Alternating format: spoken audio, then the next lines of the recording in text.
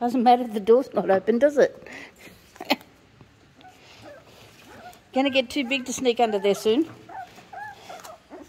And you, big, big, big black boy, almost close to being able to get out of there. What? What babies?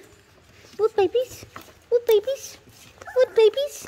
Oh, you're full of it tonight. You can have a big run around tomorrow while I clean up. Clean up the mess you made. Shh, what? No, Mum's not coming in. You've just been fed. You want to go in, Kelly? You want to go in, Kelly? Go in? Are you just going to tease them?